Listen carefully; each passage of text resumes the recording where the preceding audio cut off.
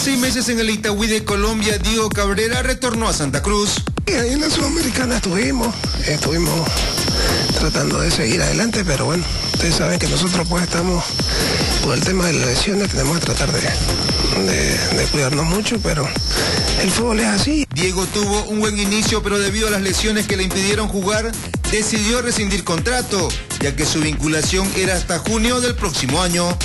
Eh, rescindimos contrato, así que bueno, eh, te vuelvo a repetir, es por, porque nosotros pues estamos para, para tratar de, de que las cosas o el extranjero está para siempre sobresalir más que, que, local, ¿no? De todas formas, Cabrera calificó de bueno este año.